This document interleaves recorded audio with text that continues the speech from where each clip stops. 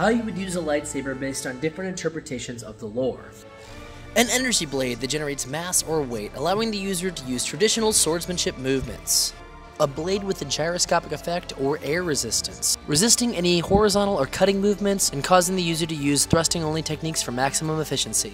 A totally weightless blade, where all of the weight is concentrated in the hilt, allowing the user to flick it around at ridiculous speeds and random patterns and make it almost impossible to defend from. A weapon that acts unpredictably varies its weight based on your emotions and you need superpowers to even use it.